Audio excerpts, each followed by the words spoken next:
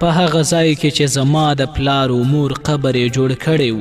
د مصر د فرعونیانو قبرونه د هرم په بڼه له لرې ښکارېدل او هر ځل چې زما مور و پلار احرامونه کتل اسویلي به یې ایستل ځکه چې پوهېدل اهرامونه هېڅکله نه ورانېږي او باران، لمر او د نیل سیند غیر عادي سېلابونه او نیزونه د هغیو اډانې نه شي ورانولی. ما د مور او پلار لپاره د مړو، اموات، یو کتاب له غلطۍ پرته لیکلی و، چې له مړینې وروسته یې په قبر کې له ځان سره کېږدي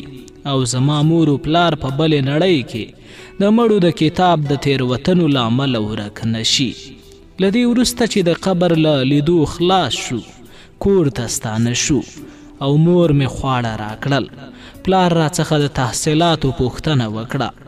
او ویې ویل، زویه! د مرګ لپاره دې څه فکر کړی دی؟ ومې ویل، پلاره! زه لا کوم عاید نه لرم چې د مرګ فکر وکړم او کله چې مې تنخوا او عاید پیدا کړل، د بلې دنیا فکر به هم وکړم. قدرمن لوستونکي باید توجه وکړي، هر ټکی چې په دغه کتاب کې لولي، یو تاریخي حقیقت دی. د دغه کتاب ارزښت دا دی چې د نړۍ په ټولو ژبو ژباړل شوی دی او دا چاره د همدې تاریخي ټکو له امله ده. مثلاً په دغه ځای کې د مرګ په حال کې یو بوډا پلار له خپل ځوان زویه پوښتنه کوي، د خپل مرګ لپاره دې څه فکر کړی دی؟ ځکه چې په لرغوني مصر کې له هغه وخته چې یو کس به ځوان شو د ژوند تر وروستۍ شیبې پورې له مرګه د وروسته پړاو لپاره د وسایلو د برابرولو فکر کوي او هغه احرامونه چې په مصر کې ودان شوي دي د همدې لپاره وو ژباړونکی تر لمر لوېدو وروسته له مور و پلاره جلا شوم او کله چې له کوره راووتم د ښکلو هنرونو ښوونځي ته ور روان شوم چې په یوه معبد کې وو ځکه پوهېدم چې یو پخوانی ملګری مې هلته دی د دغه ځوان نوم توتم سو او د ښکلو هنرونو په برخه کې ښه استعداد درلود ډیره موده مو سره نه ولیدلی کله چې د ښکلو هنرونو مدرسې ته ننوتم شاګردان د خپلو معلمانو په مرسته په کار بوخت ول او چې کله یې د توتمس نوم واورېد نو له کرکې لاړې پر ځمکه تو کړې یوه وویل چې هغه یې له دې ښوونځي وشاړه بل وویل که غواړې هغه پیدا کړې باید داسې ځای ته لاړ شي چې هلته خدایانو ته ښکنځلې کیږي ځکه چې توتمس خدایانو ته ښکنځلې کولې. دریم ویل، هر چیرته چې لانجه او جنګ وي، توتمس هم هملته دی او له هر جنګ وروسته ژوبلیږي. خو کله چې ښوونکی لاړ او شاګردان پوه شول چې هغه نشته، ماته یې ویل، هغه د سوریې سراهی په نوم په یوې ساقي خانه کې پیدا کولای شي. دغه ساقي خانه د بېوزلو د محلې په وروستۍ برخې او د شتمنو د محلې په سر کې ده هورې بېوزله هنرمندان او هغه کسان چې د ښکلو هنرونو له ښوونځي شړل شوي دي راټولیږي او دا یې دیره ده ما له زحمت پرته دغه ساقي خانه پیدا کړه ومې لیدل چې توتمس په زړو جامو کې په یوه څنډه کې ناست دی او داسې ښکاري چې همدا اوس له یوې لانجې خلاص شوی دی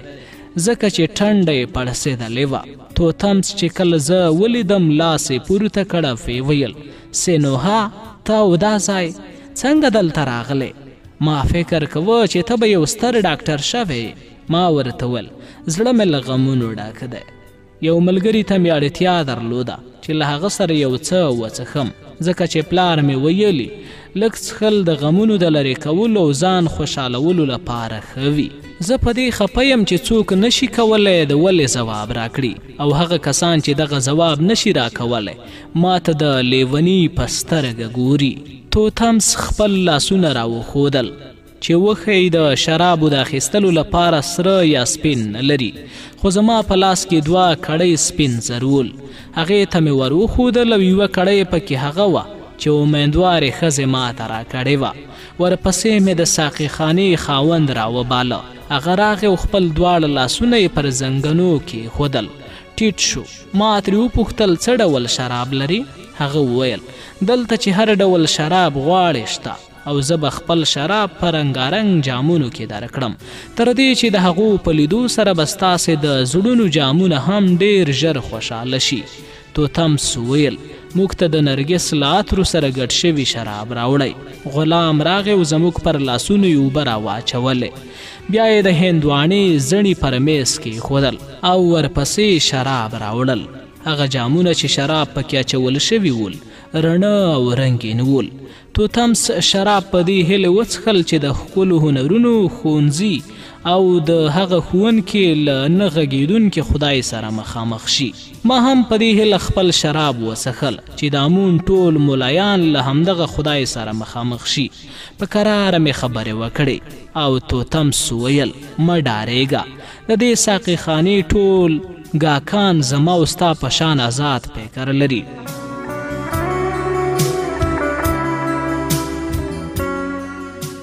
له دوو جامونو وروسته د شرابو رڼا زموږ زړونه روښانه کړل ما وویل په دارالحیات کې زه له تور پوستو غلامانو هم پوست او رالوېدلی یم او له ما سره داسې چلند کیږي چې ته واوران کار یم توتم سو پوښتل ولې درسره داسې چلند کیږي وامې ویل د دې لپاره چې وایم والي توتم سو ویل ته د ډېرې سختې سزا وړې ځکه کله چې وایې ولې یا د څه لپاره د هغه کسانو پر دین اعتقادات او شتمنۍ یارغل کوي چې په مصر حکومت کوي او هغوی وپوهیږي چې ستا دغه پوښتنه د هغوی قدرت شتمنۍ او نیکمرغۍ ته تاوان رسوي نو مجبور دي چې تا وشړي زه خو حیران یم چې څنګه تر اوسه پورې په دارالحیات کې پاتې ولې د نشړي او زما پر برخلیک چې د ښکلو هنرونو له ښوونځي شړل شوی یم ناخته کیږي دغه کسان چې ته یې ګوري ښایي د رنګ جسم او د بدن د پوستکي او آن د مذهبي عقیدو له پلوه توپیرونه ولري خو له یوه پلوه ګډه عقیده لري او هغه دا چې څنګه دغه موهومات او ناسمې عقیدې او دغه تشکیلات په خپل حال وساتي ځکه چې دغه تشکیلات د هغې او د هغې او د بچیانو په ګټه دي دوی له دغو تشکیلاتو مخکې هم حکومت کوه او قدرت لري بل دا چې د دوی شتمني به هم ورځ تر بلې زیاته شي خو ته وایې د څه لپاره غواړې د دغه تشکیلاتو بنسټ وران کړي او د هغیو ناپوهي ثابته کړي که هغیو په خپلو کې اختلافات هم ولري خو ستا پر خلاف به یو ځای شي چې تا له منځه یوسي ځکه چې ستا خطر د هغیو ترمنځ له اختلافاتو ډیر زیات دی او تر هغې چې مصر وي او په دغه هیواد کې احرامونه شته هغیو به که ستا په شان لکونه کسان قرباني هم کړي دغه تشکیلات به وساتي ځکه چې د دویو د قدرت ضمانت کوي او هر څوک چې مخالفت وکړي هغه به د امون یا فراون په نامه لمنځه یوسي بیا تو تمس راته ویل کله چې زه د ښکلو هنرونو ښوونځي ته ولاړم داسې خوشاله وم چې له مرګه وروسته به مې په احرامونو کې خخوي کله چې ما کار پیل کړ، لومړی مې په قلم پر تختو انځورونه کاږل، وروسته مې بیا نرمه خاوره د مجسمو د جوړولو لپاره وکاروله او په پیل کې به مې د موم په مرسته د هرې مجسمې قالبونه جوړول. وروسته به مې د هغو له مخې ډبرینې مجسمې جوړولې. دغه مهال زه د هغه تږي په شان وم چې اوبو ته رسېدلی وي او هر کار به مې په شوق سره کوه. تر دې پورې چې یوه ورځ مې لټه وکړه چې د خپلې خوښې او سلیقې په اساس مجسمې جوړې کړم او هغیو ته بڼه او رنګ ورکړم. خو پر دې ورځ ناڅاپه د ښکلو هنرونو استادانو اعتراضونه پیل کړل او وی ول دغه مجسمې چې ته جوړول غواړې له قانون سره سمې نه دي ځکه همغه ډول چې د خط هر توری خپله خاصه بڼه لري او له هغې پرته لیکل نه شي کېدای. په ښکلو هنرونو کې هم هره څېره و مجسمه خپله خاصه بڼه لري. داسې نه شي کېدای چې له هغې پرته بل ډول مجسمه جوړه کړې او یا نوی رنګ پکې وکاروې. د ښکلو هنرونو د رامنځته کېدا په وخت کې د هغه سړي انځور چې ناست او یا ولاړ دی، راښودل شوی دی او موږ هم هغه ډول چې زموږ پلرونو انځور کړي دغه تصویرونه باسو.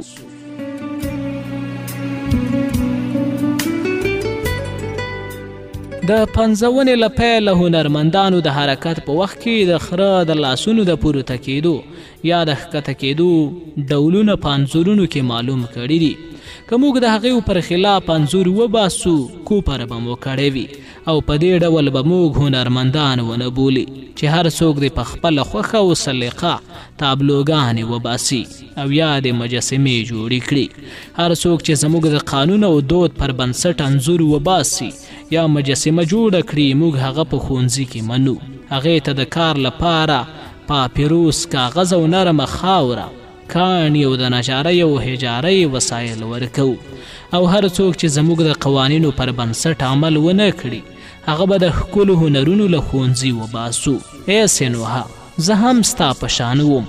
او په ښوونځي کې مې خپلو استادانو ته وویل ولې باید داسې وي او ولې باید داسې نه وي ولې د یوې مجسمې سینه تل په شنه رنګ رنګیږي او ولې تل سترګې سرې جوړیږي ایا غوره نه ده چې د یوې مجسمې سترګې تورې کړو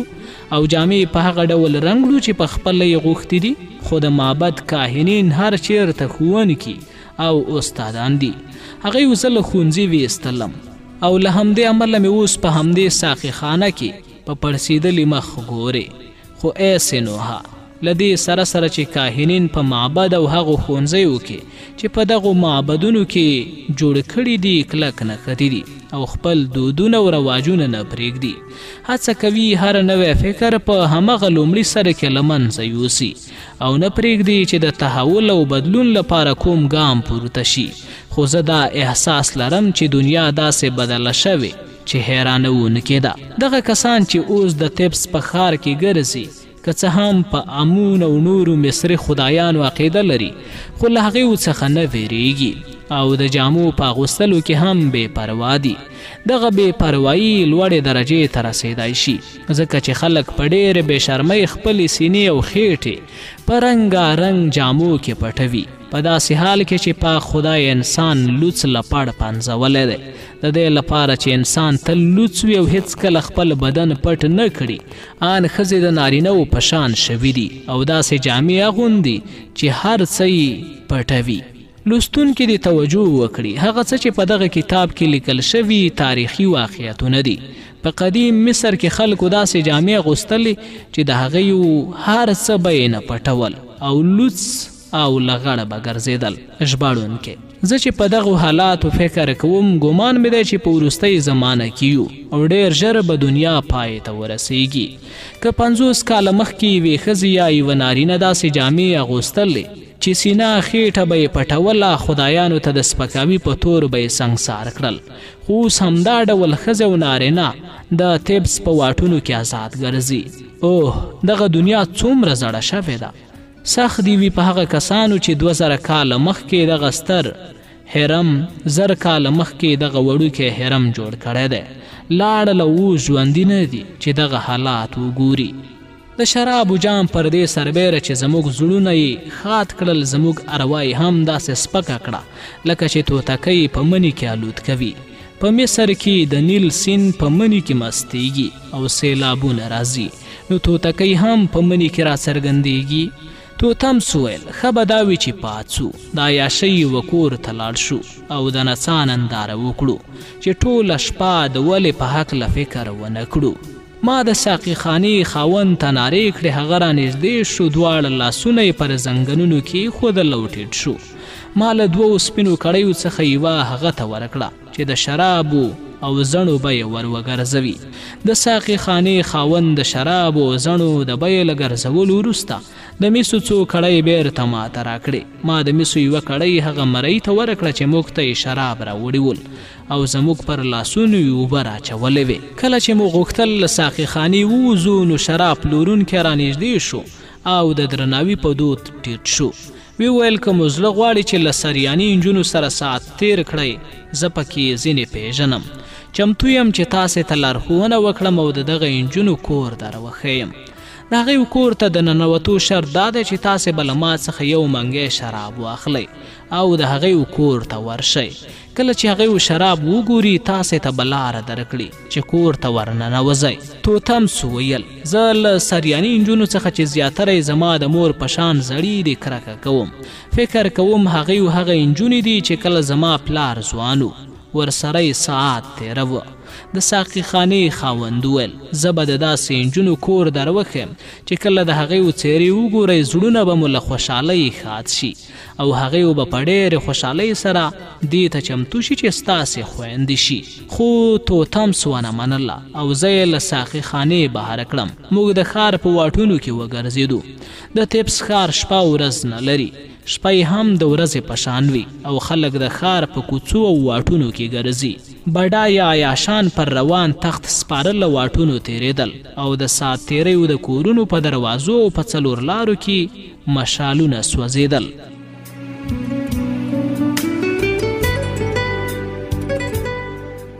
له ځینو دغه کورونو د سریانۍ موسیقۍ یعنې د سوریې موسیقۍ غږونه اورېدل کېدل له ځینو کورونو څخه د تورپوستو د ډول غږونه راتلل او موږ به پوهېدو چې د دغه کورونو ښځې تورپوستې دي. توتامس باور درلود چې ځینې تورپوستې ښځې ښکلي وي او کله چې انسان هغوی د خپلې خور په توګه غوره کړي، نېکمرغه به شي. څلور زره کاله مخکې په مصر کې خور او ورور د واده اجازه درلوده، له همدې امله نارینه وو به خپلې ښځې د خور په نامه یادولې. ژباړن. زه په څو څو ځله له خپل پلار سره یو ځای د ناروغانو کورونو ته د تګ لپاره د تیپس له واټونو تیر شوی وم خو تر دې شپې پورې نه پوهېدم چې د عیاشۍ د کورونو داخلي حالات به څنګه وي توتمس یوه کوچني کور ته بوتلم چې د انګورو پیشه په نامه یادېده هلته پر غولي نرم فرش خپورو څراغونو زیړ پوښونه درلودل. د دې کور ښځې د څراغونو د زېړې رڼا له امله ښکلې ښکارېدې او ومې کتل چې ځینې پکې شپېلۍ او ځینې برباد غږوي. یوې نجلۍ له هغې وروسته چې زه یې ولیدم شپېلۍ یې پر ځمکه کېښوده، راپاڅېده او ما ته راغله، لاسونه یې زما پر لاس کېښودل او بله نجلۍ یې توتمس ته نږدې شوه او خپل لاس یې د هغه په لاس کې کېښود. هغې چې زما پر لاس یې لاس ایښی و زما لاس یې پورته کړ او ویې کت بیا یې زما پر خریل شوي سر نظر تیر کړ او ویې پوښتل ته د طب په ښوونځي کې درس وایي که د حقوقو یا سوداګرۍ او که د ستور پیژندنې له دې امله چې د توتمس لاسونه زیږه ول هغې نجلۍ ورته وویل چې هغه به د ښکلیو هنرونو په ښوونځي کې درس وایي ځکه چې د هجارانو او مجسمه جوړونکو لاسونه هم د طبیبانو او محصلینو په پرته لاس زیږوي. له هغې وروسته مې د ډېرو شرابو له امله په یاد نه دي چې څه وشول، خو په مبهم ډول مې احساس وکړ چې په هغه کور کې له یوې تورپوستې سره ونښتم. یو وخت مې ځان له کوره بهر په ناولي لښتي کې ولید او ومې کتل چې له ما یې د سپینو زرو مسو کړۍ هم اخیستې دي. د پلار خبره رایاده شوه چې ویل به یې، کله چې انسان ډېر وڅښي، نتیجه یې دا شي چې کله سترګې پرانیزي، نو په لښتي کې به پروت وي. توتمس د نیل سیند څنډې ته بوتلم چې هلته خپل په خټو ککړ مخ او لاسونه ووینځم. کله چې دارالحیات ته ستون شوم، سهار شوی و. له دې سره سره چې د ډېرو شرابو د څښلو له امله مې حالات ښه نه وو، خو ځان مې د غوږونو برخې ته ورسوه. ځکه چې پر دې ورځ مې باید په دې برخه کې کار کړی وی په دهلیز کې معلم ولیدم دغه سړی د غوږونو د ناروغیو متخصص او درباري ډاکټر و زما شلیدلو جامو او پړسېدلي سر ته یې وکتل او وی ویل سینوها ته بېګا د عیاشۍ په کورونو کې وي ما خپل سر ټیټ نیولی و ښوونکي ویل سترګې دې راوښایه ما مې سترګې ور وښودلې او له هغې وروسته یې زما ژبه هم ولیده او نبض یې وکت وی ویل بیګا دی ډیر څښلی دی په دارالحیات کی د یوه محصل لپاره په شرابو کی افراط ښه نه وی ځکه چی هغه له کاره غورځوی که ته ځان معالجه نه کړی تر سبا به پرکاله وی او له زړه کار نه شی کولی راځه چی مسحل درکړم چی کلمې دی پاکی کړی او د شرابو اغیز له منځه یوسی خو په دی شرط چی نور به نه وایې چی ولی ځکه چې په دارالحیات کې د عیاشۍ کورونو ته تګ او شراب څښل عیب نه دی، خو ولې پوښتنه ستر عیب ګڼل کېږي؟ ما تر هغې شېبې پورې له ښځې سره ویدېدل نه وو حس کړي او ګومان مې نه کوه چې د یوې ښځې شتون به سړی دومره خوشالوي. له هغې وروسته به مې له هر فرصته استفاده کوله چې سپین او مس به مې درلودل. د عیاشۍ کورونو ته به تلم له دې امله چې په دارالحیات کې به ناروغانو سپین زر راکول نو د فلزاتو ترلاسه کول به راته سخت نه وو له هغې وروسته په دې پوه شوم چې د ښوونځي معلمین چې پخوا په ما بدبینه ول د عیاشۍ کورونو ته تر تګ وروسته یې ما ته په ښه سترګه کتل ځکه پوه شوي ول چې زه په عیاشۍ کې دومره بوخت یم چې د نیوکو فکر راسره نشته په دغه حالاتو کې فرعون چې امن هوتپ نومېده سخت ناروغ او درباري ډاکټرانو علاج نشو کولی له دې سره سره چې هره ورځ به یې د فرعون لخوا په معبد کې قرباني کوله خو هغه ورسره نه ښه کېده داسې اوازه ګډه شوه چې پاچا پر امون خدای غوسه شوی چې د هغه علاج نه کوي او په بین النهرین کې نینوا ته یو پلاوی استولی چې د نینوا له خدایه څخه چې اشتار نومیږي مرسته وغواړي خو دغه موضوع له ملي پلوه دومره لوی شرم و چې چا جرأت نشو کولی دغه خبره په لوړ اواز وکړي چې فرعون د ځان د درملنې لپاره د نینوا له خدایه مرسته غوښتې ده خلکو به په کراره دغه خبره کوله. یوه ورځ د نینوا د خدای مجسمه تیفس ته ننوته. ما ولیدل چې یو شمېر روحانیون چې اوږدې ږیرې درلودې د دغې مجسمې شاوخوا ته راغونډ شوي ول. له دې سره چې ما فکر کوه زه یو روڼ آندی محصل یم خو له دې امله چې پردی خدای راغلی او زموږ د فرعون درملنه کوي کړېدم او کتل مې چې ټول محصلین او دارالحیات ښوونکي هم خپول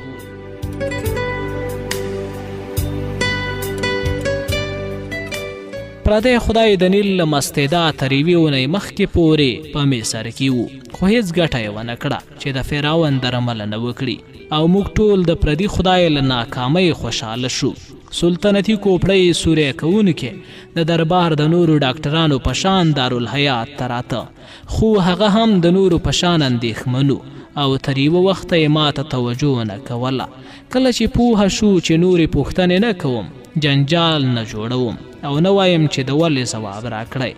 نو له ما سره نرم شو او یوه ورځ یې راته ویل، سینوهه ستا پلار ستر سړی دی، خو د ټولو حقیقي مشرانو په شان بېوزله دی زه ستا له پلار سره د ملګرتیا له مخې او د هغه درناوي پر بنسټ چې د هغه شرافت او سترتوب ته یې لرم غواړم له تا سره مرسته وکړم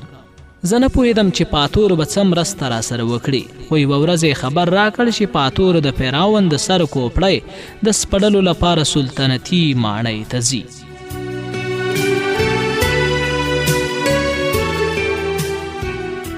شپږم څپرکی لاړو چې د فراون کوپړی سوری کړو. ټول ډاکټران د فراون له معالجې نهیلي شوي ول او یوازې د درملنې یوه لاره پاتې وه. هغه دا وه چې د هغه کوپړی وسپړي او وګوري چې ایا د هغه ماغزه کومه ستونزه لري که نه. دغه کار په هر حالات کې ګټه درلوده ځکه چې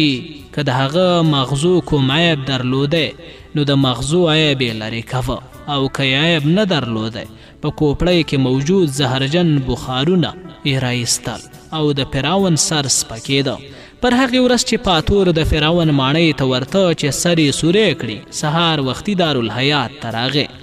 او زه یې ور وبللم هغه یو صندوق راکړ ویې ویل په دغه صندوق کې زما د جراحۍ وسایل وي چې په اور ایښودل شوي یا ایښول شوي دي غواړم تر دې مخکې چې نن سلطنتي ماڼۍ ته لاړ شم دلته د دوو کسانو کوپړۍ سورۍ او وسپړم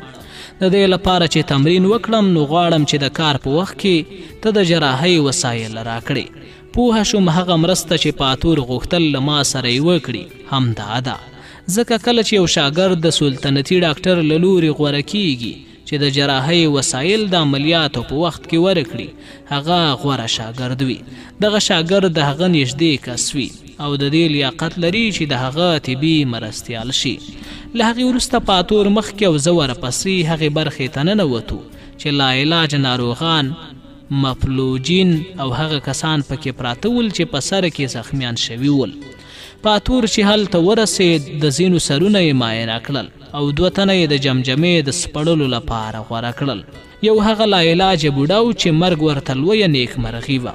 او بل یو کلک او تورپوستی غلام چې په سر تا په ډبرې وهل شوی و، نه یې خبرې کولای شوې او نه یې د بدن غړي ښورولای شول. دواړه یې د جراحۍ هال ته بوتلل او بې له ځنډه یې د اپیمو شیره د هغې ورګونو ته ننه ایستله. چې د درد احساس ونه کړي. په چالاکۍ سره مې د هغې سرونه وخرېل او بیا مې د پنګس، کبک او شنجرپ محلول پرې وموښل، ځکه چې په کتاب کې لیکل شوي ول چې له جراحۍ عملیاتو مخکې باید د عملیات ځای په دغه ډول محلول باندې پاک شي. پاتور خپله چاړه واخیسته، د سر پوستکی یې پرې کړ، پوستکی یې دواړو لورو ته واړوه. په دې وخت کې د سره د پوستکي له دواړو غاړو وینه بهېدله، خو پاتور وینې ته توجه نه کوله. تر دې وروسته پاتور د کوپړۍ د سوري کولو وسیله واخیسته او په سر کې یې دننه کړه. کله چې د دې الې څوکه په سر کې ننوتله، هغه یې وڅرخوله په دې ډول چې یو ګرد هډوکی د سر له کوپړۍ بېل شو او مازغه ښکاره شول. پاتورو مزغو ته ځیر شو او وی ویل زه د دغه کس په مزغو کې هیڅ ډول نقص نه وینم بیرته یې هډوکی پر خپل ځای کېښود او پوستکی چې سره بیل کړی و بیرته سره یو ځای کړه او ویې تړه خو کله چې هغه د سره د تړلو په حال کې و د ناروغ رنګ تک شین واوښت او مړ شو کله چې د هغه سړي مړی بهر کړ دارالحیات مشر هم له یو شمېر محصلینو سره هلته موجود و پاتور یوه محصل ته وویل، په تاسو کې یو تن چې لږ ځوان وي، لاړ شئ. پاتور یوه محصل ته وویل، په تاسو کې یو تن چې لږ ځوان وي، لاړ شئ او ما ته لږ شراب راوړئ چې لاسونه مې رېږدي. یو محصل لاړ او یوه پیاله شراب یې راوړل، هغه یې چې وڅښل، د لاسونو رېږدېدل یې ودرېدل. بیا یې امر وکړ چې مرۍ د عملیاتو لپاره وتړي او ورو یې زیاته کړه،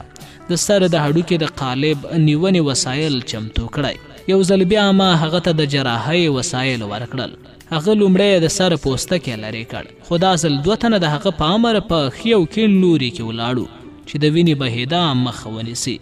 ځکه چې پاتور نه غوښتل په خپله په وړو کارونو باندې وخت ضایع کړي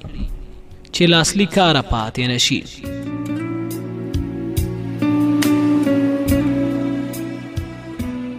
په دارالحیات کې یو بې سواده کس چې کله به د ناروغ په بستر حاضر شو د زخم خونریزي به ودرېدله خو پاتور په دې وخت کې نه غوښتل له هغه کار واخلي او هغه یې د فرعون د سر سپړلو ته ساتلی و له دې وروسته چې پوستکی لرې شو پاتور د مرۍ د سر هډوکی ما او نورو کسانو ته ور وښود. موږ ولیدل چې د هډوکي یوه برخه د ګوزار له امله ننوتې ده. له هغې وروسته یې په خاصې چړې او ارې سره د هډوکي دغه برخه له جمجمې بېله کړه چې اندازه یې د لاس د ورغوي هومره او پاتور د تورپوستي مازغه چې سپین رنګ و او ښورېدل ټولو ته ور وښودل. موږ ولیدل چې پر مغزو لږه وینه هم پرته ده او هلته لخته یا کلکه شوې ده. پاتور ویل دا چې دغه سړی خبرې نه شي کولی او د بدن غړي نه شي ښورولی لامل یې د هغه پر مازغو همدغه لخته یا کلکه شوې وینه ده بیا یې په ډېرې زیرتیا سره دغه وینه له مازغو پورته کړه او یو وړوکی هډوکی هم چې پر مازغو پروت له هغه ځایه په احتیاط سره لرې کړ په داسې حال کې چې هغه په خپل کار بوخت و، نورو په بيړه له کوپړه يې د جلا شوي هډوکي له مخې د هغه قالب اخيست. قالب واخيستل شو او په دې ډول يې په لرګين څټک هډوکی وټکاوه چې ننوتلی ځای بېرته سم شي او بيا يې د هغه قالب واخيسته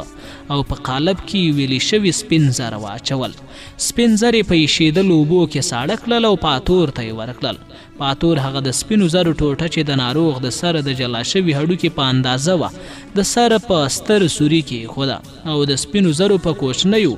بستونو سره یې د سره له هډوکي سره ونښلوله ورپسې یې د سره پوستکی بیرته د سپینو زرو په قالب راکاږه او له ګنډلو وروسته یې ټپ وتاړه پاتور ویل دغه سړی راویښ کړئ خو باید تر درې ورځو پورې حرکت ونه کړي سړی یې راویښ کړ هغه چې د کوپړیو له دې عملیاتو مخکې خبرې نه شوې کولی او لاس او پښې یې نه شوې ښورولی تر عملیاتو وروسته یې هم اندامونه خوځولی شو او هم یې خبرې وکړې پاتور هغه ته وویل تر درې ورځو پورې باید سر ونه ښوروې